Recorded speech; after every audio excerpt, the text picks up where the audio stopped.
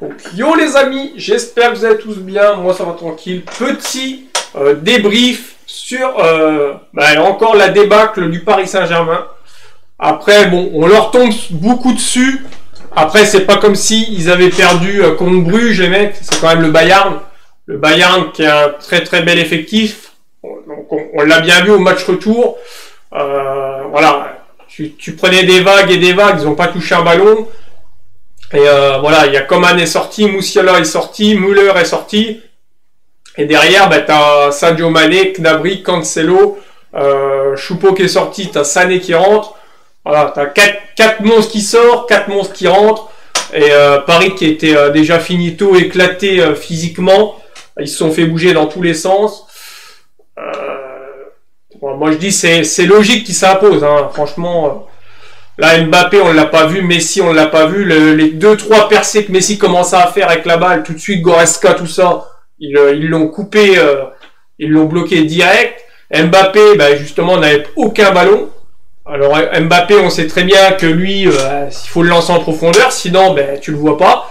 Et donc c'est ce qui s'est passé. Ils ont bien bloqué les, les balles vers lui. Ils ont empêché Messi de lui donner les caviars. Il y en a peut-être une qui est passée un peu plus fort vu qu'ils ont défendu assez bas.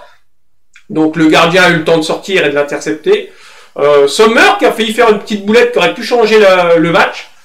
Parce que euh, le Bayern subissait un peu le pressing, tout ça, mais ça allait plutôt pas mal, hein, on va dire, il posait le jeu. Je pense que le Bayern, avec leur 1-0, il voulait pas prendre justement de risque de, de monter trop et que profiter que Mbappé parte dans leur dos. Et euh, du coup, ça a failli marcher avec le petit pressing. Ils ont relancé avec un petit Delire qui a fait beaucoup de mauvaises relances, euh, un peu en touche, un peu hasardeuse, et euh, ça revenait très très vite vers le camp du Bayern. Après, donc Sommer qui a essayé de dribbler, au lieu de dégager, je sais pas qu'est-ce qui lui a pris. heureusement que c'est Vitinha et qui fait une passe. Si c'est Messi ou Mbappé, les mecs, ou autre, meilleur, je pense qu'elle est dedans. Je pense tu mets Mbappé ou Messi, si c'est eux qui récupèrent la balle à la place de Vitinha, ils te la mettent euh, à ras du poteau ou à, une frappe en force lucarne et De euh, ne va pas la chercher. Hein. Si c'est Messi en plus, elle est sur son pied gauche, donc elle est parfaite, il la reprend à ses buts. Hein. Donc heureusement que c'est Vitinha qui essaie de la mettre en tacle euh, à ras de terre et De qui suit bien, parce que bah, il faut quand même avoir le réflexe de bien revenir et le tacle qui sauve sur la ligne. Et derrière, après, le Bayern a remis un peu plus d'intensité, euh, a coupé vraiment toutes les lignes de passe. Et voilà, physiquement, après, il y a eu ce qui s'est passé, les mecs. Attendez, je vais baisser un petit peu. Voilà, on voit bien qu'à la 36e, Marquinhos, qui était déjà souffrant au niveau des côtes, je crois, donc qui sort, remplacé par Mukele, qui également euh, n'est pas à fond, n'est pas au top. Donc déjà là, mon, mon avis, petite erreur de coaching. Euh, regardez, 46e les mecs, bah, il se pète aussi. Donc c'est le petit euh, Bichabou, euh, 17 ans les mecs, qui doit rentrer à sa place. Donc là, pareil les mecs, vous voyez, je vous ai mis les compos. Euh, il y a Ramos, euh, Pereira les mecs et Marquinhos. Sachant que tu as Hakimi, Mendes les mecs, tu perds Marquinhos, tu sais que Mukele est pas ouf, t'as pas envie de mettre le jeune qui est pas euh, au niveau, euh, qui est pas habitué à, des grands matchs pareils, match retour euh, contre le Bayern, tu peux toujours repasser en 4-4-2 les mecs. Tu mets Hakimi, Pereira, Ramos, Mendes au milieu de terrain les mecs. derrière, bah, tu fais rentrer un autre milieu de terrain. Ils avaient quand même du choix. T'as Zaire Emery, les mecs. tu mets Ruiz, Verratti, Vitinha et tu mets un Emery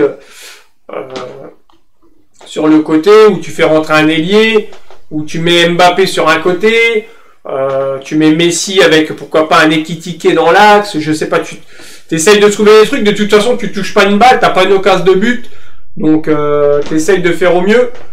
Euh, normalement, les, je vous avais mis, bah, les remplaçants sont là les mecs. Donc vous voyez, il y a Renato Sanchez, il y a Soler, Soler qui peut jouer sur un côté droit. il y a Ekitike qui est rentré en cours de match. Tu regardes le banc du Paris Saint-Germain, les mecs. c'est là qu'il manque Neymar. Après, on peut critiquer Neymar, mais dans ces matchs-là, il aurait été important. Toi, tu mets Neymar un peu en métronome avec Messi. Il aurait eu plus danger, je pense. Ils auraient réussi à plus se sortir du, marquage par leur technique, tout ça. Voilà, il n'y a pas photo. Là, tu regardes Cancelo, Gnabry, Gravenberch, Sadio Mané, Sané, les mecs. tu regardes du côté parisien, Bernat, Bachouabou, Ekitike, Garbi, Le Tellier, bon, à part Moukele, qui a de l'expérience, mais qui était pas à fond, Bernat, qui depuis sa, sa grosse blessure, tout ça, a quand même du mal à revenir. Renato Sanchez, je comprends même pas qu'il l'a pas fait jouer, mais lui pareil, il est toujours en train de se péter, donc machin. Mais lui qui connaît le Bayern aurait pu peut-être faire un truc. Euh, Soler, voilà, un mec d'expérience quand même, Soler, même si c'est pas le plus somptueux depuis qu'il est à Paris, mais c'est des mecs comme ça d'expérience qui peut t'apporter un petit plus.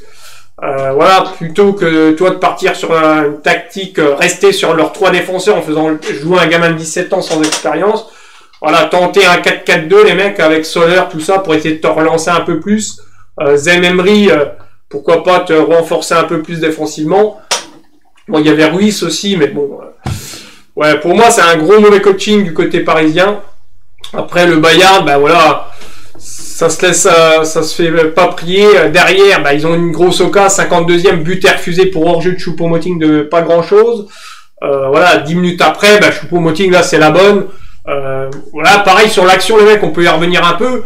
Tout le monde dit c'est encore la faute à Verratti, machin. Pour moi, Verratti, euh, le pressing du Bayern, les mecs, je sais pas s'ils regardent les ralentis, s'ils regardent le match. Tu vois bien que Verratti touche à peine la balle, il veut se retourner. Il y a déjà Goretzka, il y a Müller qui revient, il est encerclé par cinq joueurs bavarois. Tu peux rien faire.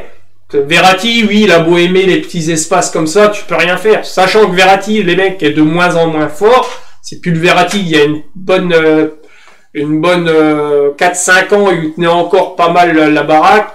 La Verratti, tu sens que c'est un peu comme Marquinhos, ces mecs, il est, ça y est, ça commence à être sur la pente descendante. Il a beau aimer le club, tout ce que tu veux là. Pour moi, il faudrait s'en séparer. Donc, euh, ça reste des bons joueurs, mais voilà, ils sont en train, ils sont sur la pente descendante. C'est un peu comme Thiago Silva qui était un peu sur la pente descendante avec la remontada, tout ça. Ils sont au fond du trou. Ils ont du mal à remonter.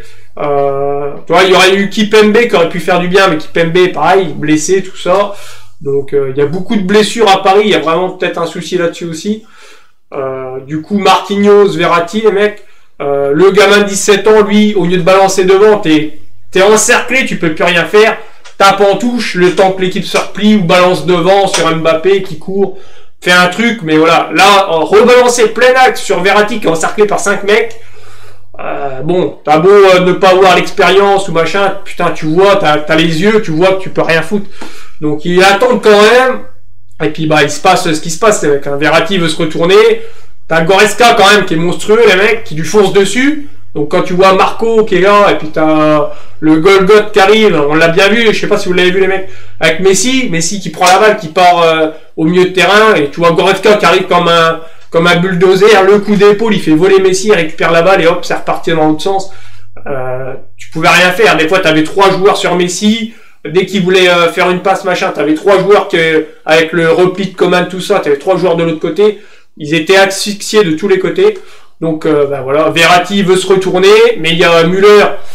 Voilà, surtout qu'on sait que Müller, l'expérience qu'il a en renard, en, petit filou qu'il est, il est un peu partout, il arrive toujours à, à mettre le petit contre-pressing, tout ça. Voilà, il se fait encercler, il le gêne pas mal, il perd la balle, derrière clac-clac, et Choupeau qui marque. Euh, derrière, ben, tu vois bien que ben, là, ça va être compliqué pour Paris, il va falloir qu'ils se... Donc ils font les changements. Zamemri qui rentre, et Kitty qui rentre. Bon, ils vont essayer de marquer un but, de coup, ça se découvre. Euh, donc du coup, ça va fatiguer encore plus. Et derrière, ben voilà, le Bayern qui a très bien joué le coup ben, ça fait sortir les, les Choupo-Moting, ça fait sortir les Moussiala, qui a un peu pêché dans la finition. Il aura fait beaucoup de mal dans le, dans le jeu, après dans la finition un peu moins. Voilà, Coman qui leur a fait euh, très très mal. Müller, voilà, ça sort tout ça et ça fait rentrer ben, les joueurs de vitesse, Sané, Mané, euh, Cancelo pour le côté encore assurer la défense. Nabri, et là, t'as quatre monstres devant qui courent à 100 à l'heure. Et ce qui euh, devait arriver, arriva, les mecs, en fin de match? Ah ben, Verratti qui essaye de remonter la balle, il perd la balle. Donc encore une fois, c'est Kimmich qui vient le gêner, qui euh, par il déséquilibre, il va récupérer la balle. Mais derrière, pareil, les défenses parisiennes, elle est complètement morte, il n'y a plus personne, il n'y a plus que 2-3 joueurs, et tu as les trois monstres devant, ça repart à 100 à l'heure, et remonte le terrain, passe pour Knabry, et derrière, ben, ça finit tranquillement pour Knabry, belle finition. avec la passe de Cancelo. Et puis, il n'y a rien à dire, franchement, il n'y a rien à dire. Autant tu pouvais dire, bah, contre euh, telle année avec la remontada contre Manchester, euh, tel euh, machin, la boulette avec la remontada du Real. Toi, tu peux te dire, là, il y avait quelque chose à faire. Au match aller, tu aurais dû tuer le Real. Au match aller, tu avais tué Manchester. Ils avaient l'équipe B au retour. Voilà, là, tu peux t'en vouloir à mort. Là, au match aller, ils ont... Bon, il manquait Mbappé, tout ça, mais tu sentais qu'ils n'étaient pas très, euh, très inquiets. Et au match retour, ils ont mis leur jeu. Ils étaient un peu plus en difficulté avec le petit pressing euh, côté parisien. Et au match retour, ils ont vraiment joué leur jeu. Ils ont accéléré, accéléré et ça a éclaté Paris en deux secondes. Paris, de toute façon, Mbappé n'a pas touché un ballon. Messi n'a pas touché un ballon. Donc euh, le milieu de terrain est incapable de remonter les ballons justement pour retrouver euh, les trouver euh, au mieux ou faire des différences. La défense qui était complètement affaiblie avec le mauvais coaching tout ça, le jeune de 17 ans tout ça, c'était obligé que ça explose. Donc après on revient toujours au même. L'équipe était trop bling bling, voilà ça marchait pas. Là ils ont voulu acheter un peu des joueurs moins bling bling. mais du coup moins moins bon au niveau au, niveau foot hein, il faut faut se le dire, les mecs. T'as beau avoir critiqué Messi, Neymar, ils peuvent quand même te changer quand ils ont l'envie et quand ils ont les moyens. Parce que là, clairement, ils n'avaient pas les moyens. Tu voyais bien qu'ils étaient bloqués de tous les côtés. Voilà, on aurait pu dire, tout le monde disait, oh, Mbappé va éclater le Bayern euh, à lui tout seul. Ah bah non, si tu le bloques bien, Mbappé, voilà, autant contre Marseille, tu voyais les espaces de Marseille à mort, bah forcément, avec Messi qui met des caviars et Mbappé qui court à 100 à l'heure, bah, il part dans, l'espace et c'est terminé, tu le revois plus. Là, ils ont bien bloqué ou pas Mécano qui a été monstrueux, qui l'a bouffé de tous les côtés. Mbappé, il n'a pas pu partir, il n'a pas pu recevoir un seul ballon, il n'y a aucun ballon qui est passé, qui est parti. Eh bien, as, quand t'as pas de ballon, tu peux pas marquer, forcément. T'as beau avoir les meilleurs joueurs du monde, s'ils n'ont pas les ballons, ils marquent pas. Donc euh, voilà. Après, euh, les mecs, on peut refaire un petit débrief sur. Euh, faudra revoir tout dans ce club.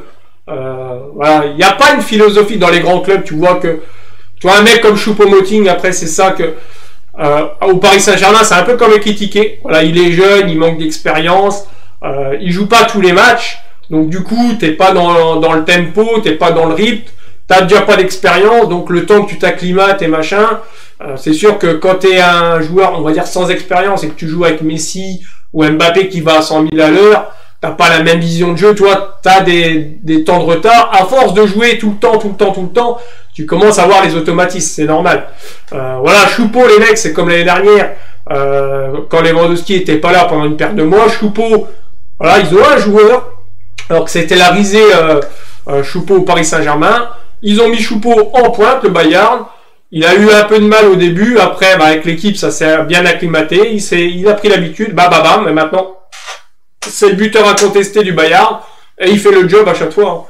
Toi, et derrière, bah, si ça galère un peu, bah, il y a encore du Mané, il y a encore du Knabry, il y a encore du donc Mané, Sané, il y a encore euh, encore un gros gros banc derrière pour faire le taf. Ils sont vraiment en plus super polyvalents.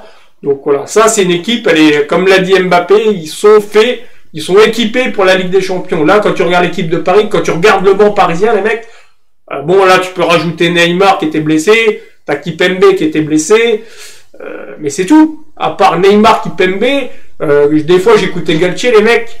T'as beau trouver des excuses, au bout d'un moment, tu sais que ton banc est trop faible. On revient toujours pareil. Quand t'avais Soler, les mecs qui était en Espagne, il était monstrueux. Fabien Ruiz était monstrueux. Euh, tu prends tous ces mecs-là, ils étaient monstrueux. Dès que t'arrives au Paris Saint-Germain, t'as une ambiance bizarre, les joueurs ils régressent. Et voilà, c'est un constat. Donc les, meilleurs joueurs du monde que Paris disait, ils ont tout éclaté, machin. Euh, il y a une ambiance de merde dans ce club-là. Je sais pas, ça prend. C'est un peu comme Marseille, les mecs à l'époque. Marseille, ça va un peu mieux. Mais à chaque fois tu disais Marseille, ça peut démarrer à fond. Et à chaque fois, tu avais une ambiance bizarre. Tout partait en couille. Et l'ambiance n'allait plus du tout. Et à chaque fois, Marseille se pétait la gueule. Ou en Ligue des Champions, mais ça gagnait pas un match. Et ça sautait, ça tournait en ridicule. Après, ça sautait l'entraîneur et ainsi de suite. Et ben Paris, c'est un peu près pareil.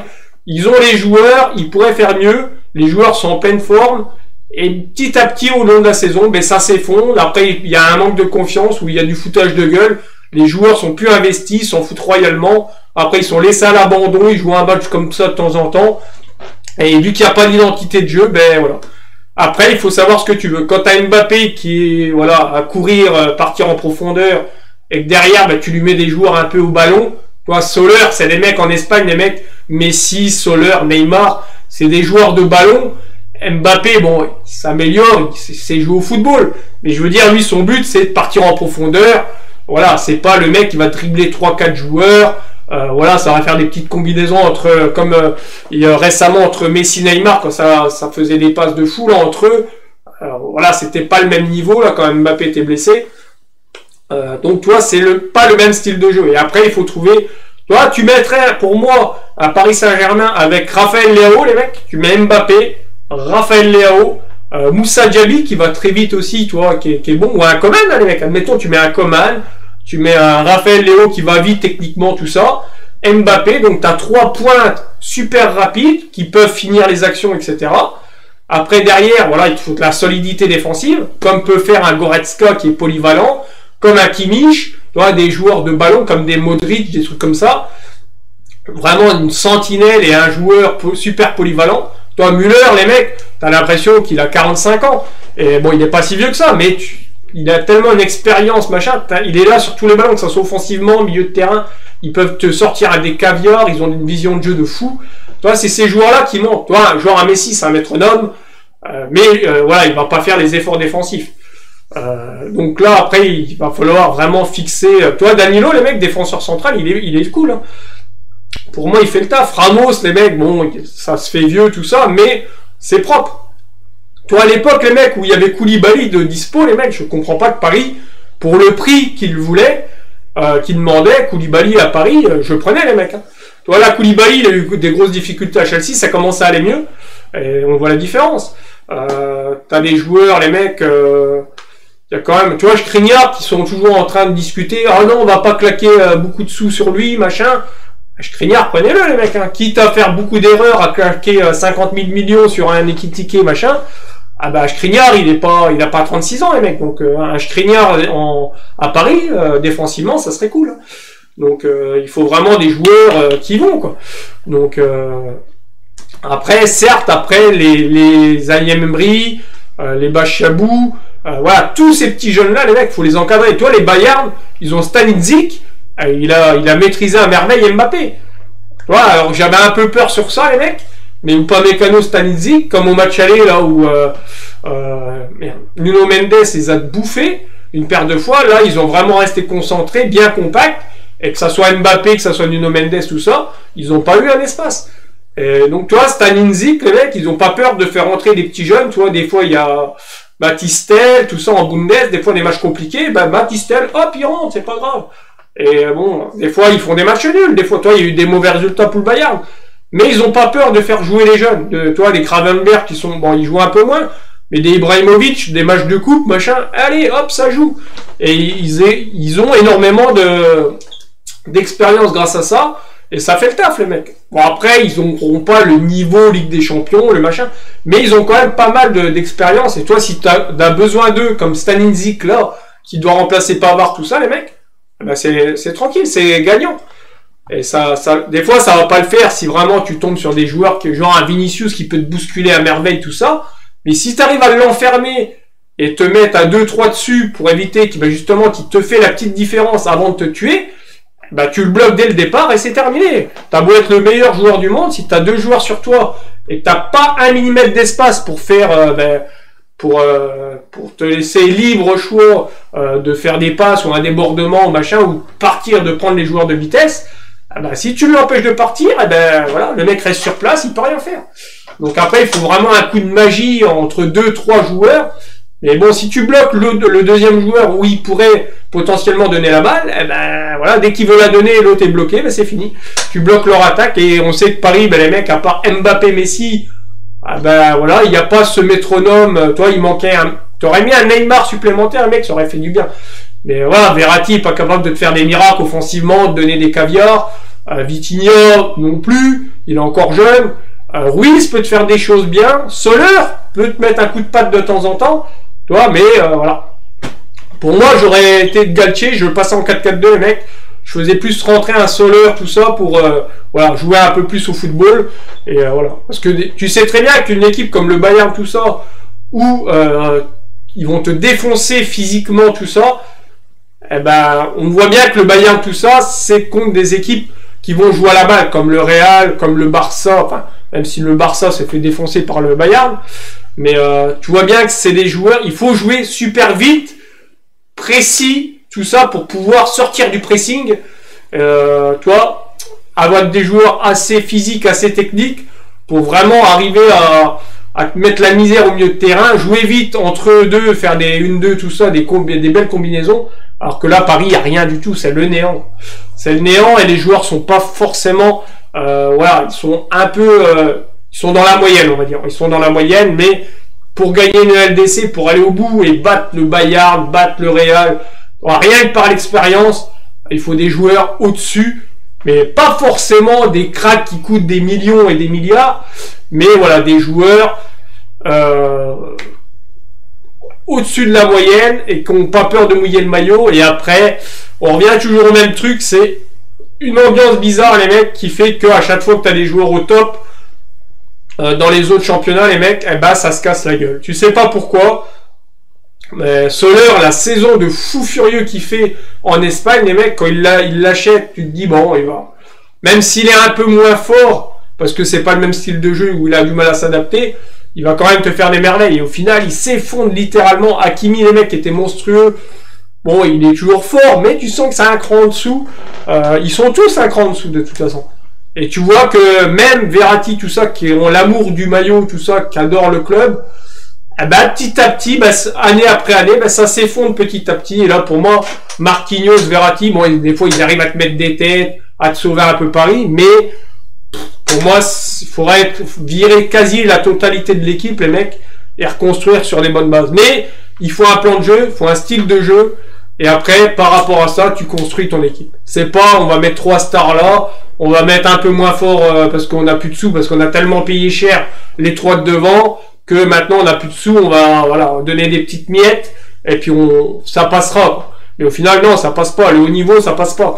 Euh, quand tu as une équipe bien en place avec des gros joueurs euh, pas forcément, parce que tu regardes le Bayern, les mecs, bon, t'as De Lire, t'as pas mal de jeunes, toi, donc il y a beaucoup de jeunes, ou pas Mécano est jeune, les mecs, De Lire, t'es jeune, David, c'est jeune, Stanitzik est jeune, donc Kimmich Goretzka, c'est les, les tauliers maintenant, ils commencent à prendre de l'âge, tu prends Moussiala, les mecs, tu prends mon Choupo-Moting qui, qui prend de l'âge, mais c'est pas un crack absolu, c'est pas comme Lewandowski, les mecs, toi. Choupo-Moting, c'est un joueur, on va dire, lambda, un joueur assez moyen, et toi, au Bayern, il brille.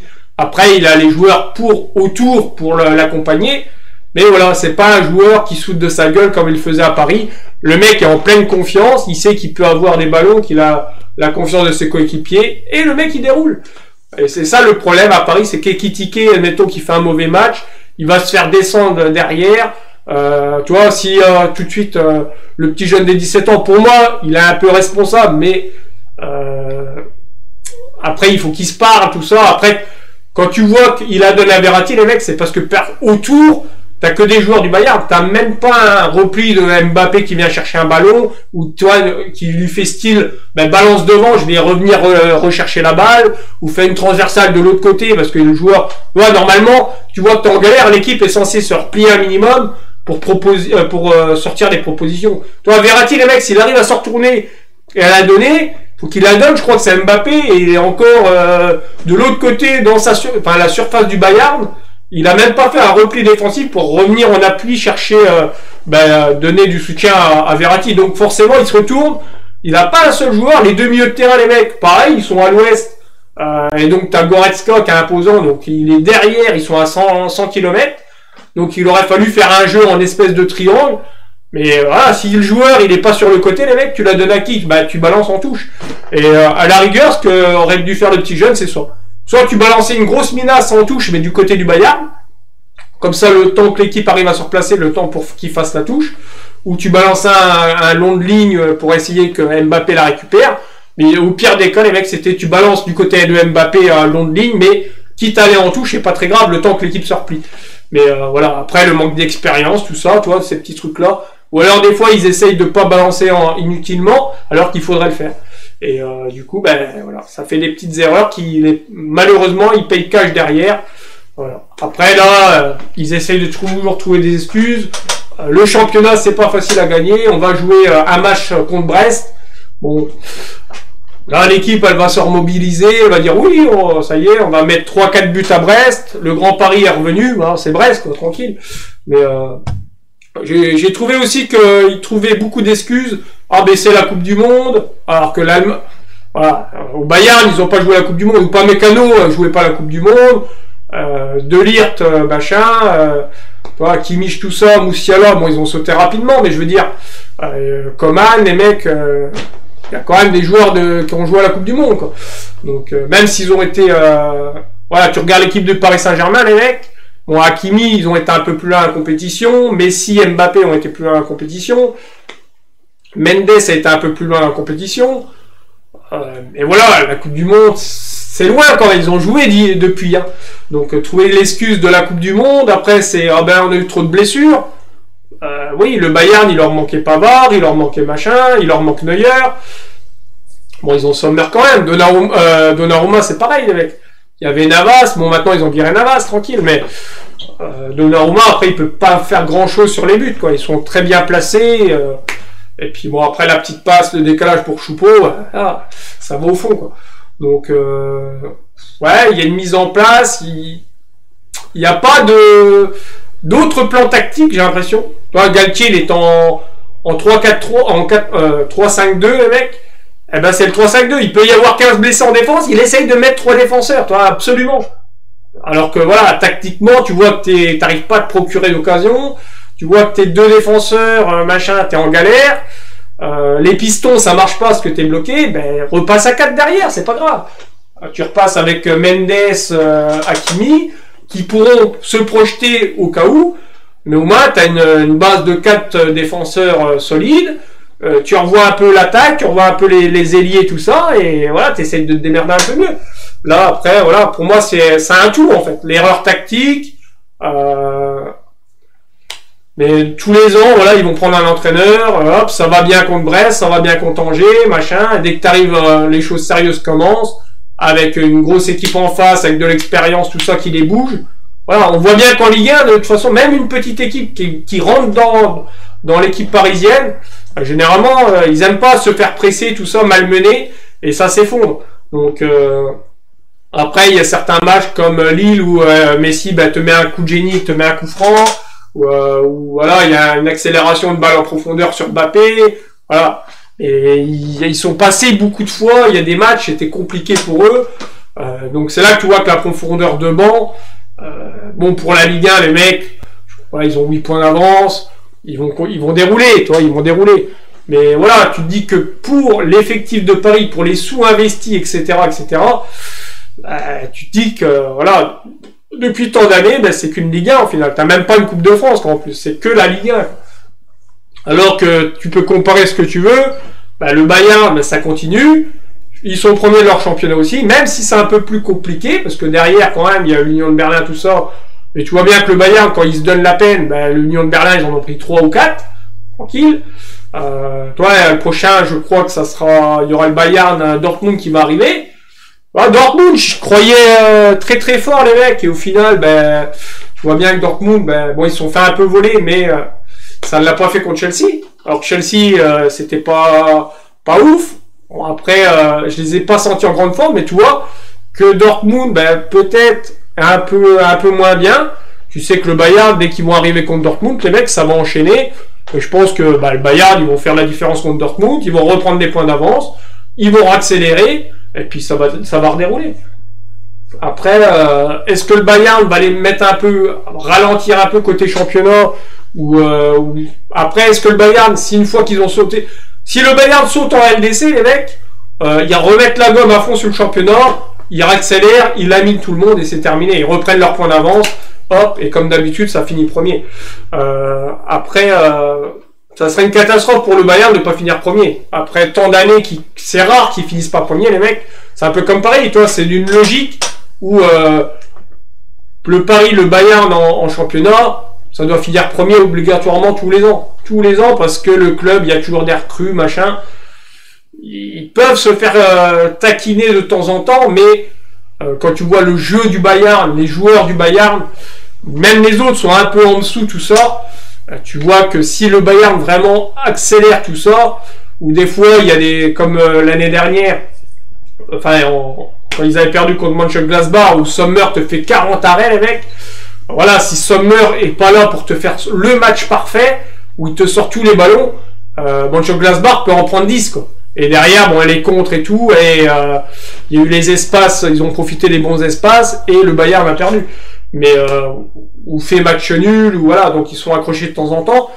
Mais voilà, si la réussite est du côté du Bayern, où ils mettent leurs occasions, c'est terminé, tu peux rien faire. Donc euh, voilà. Donc euh, voilà, on pourra reparler longuement de ce Paris Saint-Germain. Euh, mais moi je pense qu'il y a encore un, un, tout à refaire, mais il y a un style de jeu à mettre en place les joueurs, par rapport au style de jeu, que comme je vous dis, là, t'as beau mettre Messi, machin, toi, Messi qui aime bien jouer au ballon, qui aime bien construire, euh, combiner tout ça, ben, il peut pas combiner. Il combine avec qui? Il peut pas combiner. Il va combiner de temps en temps avec Mbappé, mais tout de suite, Mbappé, ce qu'il veut, c'est toi, comme à Marseille, il fait la passe, et direct, boum, Mbappé le remet en, en ballon piqué au-dessus de la défense, il lui met une balle en profondeur, et Mbappé, il est parti. Toi, c'est pas on va jouer technique, une, deux, remise. Ils le font de temps en temps, mais c'est rare. Et si tu arrives à, bloquer ce peu d'espace-là qu'ils arrivent à faire de temps en temps, bah tu les vois plus, malheureusement. C'est comme euh, quand il manquait Mbappé, quand tu avais Neymar, tout ça, qui combinaient ensemble, tu vois, le, tu vois le, lien qu'il y a entre eux, rien qu'en jouant technique, c'est déjà un peu mieux tout. Et donc après, ben voilà, toi les soleurs, tout ça, les mecs, eh ben, il faudrait, soit tu mets une équipe que technique, avec des joueurs de ballon comme Soler, comme machin. Euh, soit tu mets des joueurs de vitesse et à ce moment-là, il faut acheter des mecs comme Diaby, comme euh, toi, une coucou les mecs qui est pas forcément ultra rapide, mais qui, a du ballon, qui est technique, qui peut marquer. Tu vois, des joueurs comme ça en pointe. Après, sur le côté, bah, tu peux mettre un Moussa Diaby ou un Kingsley Coman ou euh, toi Raphaël Leao, Mbappé. Toi, ces joueurs-là, voilà, ça va très vite, ça peut marquer des buts. Euh, voilà. Après, tu mets un on va dire un Neymar ou un Messi ou ce que tu veux, qui vraiment un métronome qui te distribue tous les ballons. Et là, si tu as 3-4 mecs rapides, bah as le choix, comme au Bayern, les mecs. je reviens encore à l'histoire du Bayern, mais quand tu avais euh, à l'époque Ribéry, Robben, euh, tu avais Lewandowski, euh, voilà, tu avais les, vraiment trois monstres devant, quand tu avais les Sané Knabry qui rentraient en renfort derrière, ou Coman, les mecs, tu sais que tu as trois euh, mecs super forts, enfin deux ailiers super forts qui, qui étaient là, et dès que ça sortait, ben, avais, hop, ils remettaient la gomme avec trois, euh, deux, trois joueurs super rapides. Donc euh, le défenseur voulait se reposer un petit peu quand les mecs sortaient, ils en prenaient machin. Et dès que les mecs rentraient, ben, ils se refaisaient pulvériser en vitesse, tout ça. Ils se faisaient lessiver, donc tu avais encore des espaces de ouf. Et derrière, tu avais Lewandowski qui était monstrueux. Et généralement, le Bayard, ça marchait comme ça. Mais euh, voilà, des ailiers rapides, techniques. Derrière, si tu as encore un petit banc derrière, quand une fois que ces joueurs-là ont fait déjà le, travail ou épuisé pas mal la défense, tu refais rentrer, euh, on va dire, la deuxième charge. Puis voilà, tu prends un avantage, c'est certain. En plus, c'est pour ça que le Bayern, même si défensivement ils étaient moins bien ces derniers temps, tu sais qu'offensivement ils ont tellement une grosse puissance de feu que si ils sont en réussite, en plus, ils te cartonnent n'importe qui. Après, si bah, ça commence à avoir un gros match du gardien, un poteau, euh, toi, un petit, ça joue sur un hors-jeu, machin, tu sais que euh, ils ont peut-être pas la réussite de leur côté. Et là, tu peux peut-être en profiter sur un compte, sur un machin, euh, parce qu'ils vont forcément le Bayern, ça va les énerver de pas marquer, donc ils vont pousser encore plus, ils vont laisser encore des espaces, ils vont se déconcentrer un petit peu. C'est là qu'il faut en profiter. Et malheureusement, voilà. Mais il faut vraiment qu'ils soient sur un jour sans et euh, voilà, quand tu vois que le Bayern, tout ça, enfin le Barça, euh, c'était très technique tout ça, et quand le match est avec eux, le Bayern, ben, que ce soit le Barça ou n'importe qui, te les défonce. Euh, rien qu'en combinant tout ça, ils se connaissent par cœur en plus. Donc moi je vous dis, il faudrait vraiment que le Paris Saint-Germain, soit pour le bien, ben, admettons, se sépare de Messi, Neymar, est-ce que Neymar... Parce que Neymar est pas dégueulasse, les mecs. Tout le monde tape sur Neymar à part les blessures encore, Neymar, il fait, son job. Après, euh, tu sens qu'il y a une mauvaise cohésion, il n'y a pas le bon style de jeu. Pour moi, il n'y a pas le bon style de jeu. C'est, t'as beau faire, c'est un peu comme, euh, comme Jovic, les mecs qui, cartonnaient en Bundes, ils l'ont acheté au Real, enfin ils l'ont pris au Real. Pas le même style de jeu, toi, c'est un peu, un peu plus bourrin en Bundes, il y a les appels, tout ça. C'est plus technique, un peu plus de combinaison au Real. en Liga, il a rien fait, Jovic. Il est revenu en Bundes, il a recartonné. Toi, tu prends euh, Werner, les mecs, qui est à Chelsea, éclaté au sol. Tu le prenais à Leipzig, monstrueux. Il est revenu à, Leipzig, les mecs, il redevient monstrueux. Toi, c'est le style de jeu. Il y a des, entraîneurs ou des clubs qui ne comprennent pas ça. Ils voient que le mec est super fort, mais pour autant, ils se disent pas, le mec n'est peut-être pas capable de s'adapter à tel ou tel championnat. Toi, le mec est très très fort comme Ozymen, le mec. Ozymen, c'est son style de jeu avec la Serie A, ça match super bien. Tu vas mettre Ozymen peut-être en PL ou en Bundes ou ce que tu veux. Ça va pas le faire, le mec, ça va pas le faire. Toi, je verrais plutôt un Ozymen s'éclater en Bundes, parce qu'il aura plus d'espace que ça joue, au football, ça slash attaque-défense. Que tu mets un Ozymen, ça serait en Ligue 1, bon, même s'il a déjà été en Ligue 1, et tu remettrais un Ozymen peut-être en Ligue 1, où tu le mettras en PL, où il y a plus de défense, ou plus c'est un peu plus rude, ou ils ont machin, eh ben, il aura peut-être un peu un peu moins d'espace et ça matcherait moins. Après, bon, si tu as les occasions bien placées, il est capable de finir. Mais euh, ça serait plus compliqué. Toi, et après, des fois, ben, il suffit que le club suive pas, ça, ça tourne mal, ben, manque de confiance, perte de confiance. Et puis voilà, tu sens que toi, Arsenal qui est au fond du trou, tout ça, qu'on modifié deux, trois trucs, ben, pourtant ils n'avaient pas changé grand chose, mais leur, ils ont repris confiance, ils ont rechangé un peu le plan de jeu. Après, le collectif s'est remis en place. Et voilà. Alors que c'était quasi la même équipe, les mecs. Mais euh, bon, ils ont changé deux, trois bricoles. Mais tu te dis, c'est pas comme s'ils avaient rajouté 300 millions, ils avaient changé une équipe complète, genre à la Chelsea, et puis que ça marchait mieux. Chelsea, les mecs, bon, ça va le faire, hein, parce que là, le temps de trouver du collectif, ils ont quand même des gros joueurs. Mais tu vois bien que Chelsea, quand ils ont acheté plein de joueurs, c'est pas pour autant qu'ils ont déroulé tout le monde. Ils ont continué à perdre, ils ont continué à faire des matchs nuls. Là, tu vois contre Dortmund, c'est pas la folie non plus ça, il y a du mieux, mais il va falloir une, petite période pour que Chelsea revienne au top. Ça va revenir une fois qu'ils vont, voilà, tous les jeunes vont se remettre en place, il y aura full confiance, full collectif. Il suffit que les résultats reprennent et là, après, ça va revenir tout doucement. Mais euh, voilà, c'est comme Manchester, les mecs, toi, ça a redéroulé. Il y a une petite erreur de parcours contre Liverpool où t'en prends 7. Euh, toi, tu dis Liverpool est au fond du trou, là. Liverpool, pourquoi pas, les mecs, ça va reclaquer sans claque 7 à Manchester. Tu te dis, même si c'est pas un grand Manchester qui était euh, qui est passé à travers le match, que, qui avait fêté la, la, victoire en coupe, etc. Mais pour euh, pour Liverpool, c'est peut-être le petit déclic qui va faire que euh, voilà le prochain match, ils ont repris confiance, ils ont retrouvé quelques automatismes, ça va redérouler le deuxième match et puis le troisième match et puis ça peut se relancer comme ça. Donc voilà. Donc les mecs, n'hésitez pas à liker la vidéo, à vous abonner si c'est pas déjà fait, à me mettre un petit commentaire pour me dire ce que vous en pensez, hein, une petite euh, synthèse vite fait. Et puis on aura l'occasion de reparler plus approfondi de, du Paris Saint-Germain. Pourquoi pas se faire un, un, futur mercato ou se faire la future équipe du Paris Saint-Germain avec euh, pourquoi pas les profils euh, machin pour cette équipe du Paris Saint-Germain.